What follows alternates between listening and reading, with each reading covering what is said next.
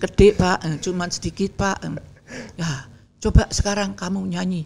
Lah bayangin itu aku begitu di anu kan terus mau ngelihat gitu, begitu ngelihat itu muka itu bisa kayak cetar, kayak wes. Auranya Bung Karno bener-bener ya. wah, Karismanya ya. Aku sampai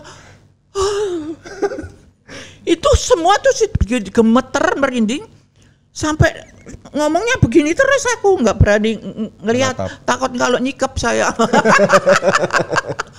Takut kalau memeluk. Habis cakep. Aduh bukan main deh.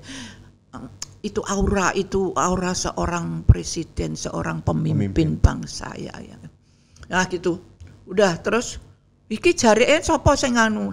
Piyambak lah gelungan piyam wah kowe pinter nganggo jare pinter nyanyi pinter ini wes mulai sekarang kamu menjadi penyanyi istana